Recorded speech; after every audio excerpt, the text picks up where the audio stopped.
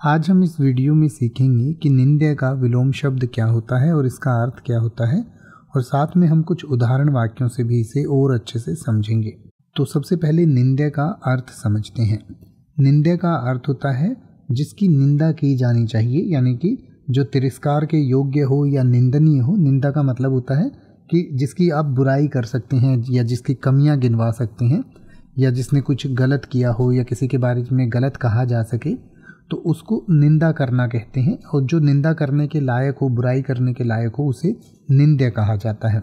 तो निंद्य का विलोम शब्द यानी कि विपरीतार्थक शब्द होता है वंद्य।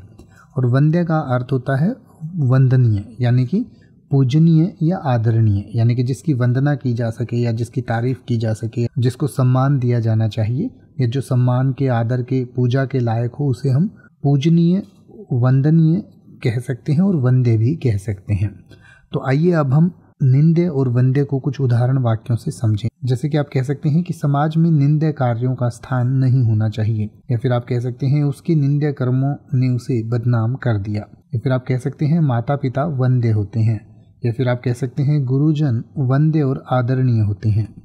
अब आप किसी भी वर्ड का मतलब हिंदी और इंग्लिश में यूट्यूब पर सर्च कर सकते हैं। आपको मेरी वीडियो मिल जाएगी, जिसमें आप बिना किसी फालतू बकवास के सीधा उस वर्ड का मतलब समझ पाएँगे। तो ऐसी ही वीडियोस को देखते रहने के लिए चैनल को सब्सक्राइब करें और बेल आइकन को प्रेस करें।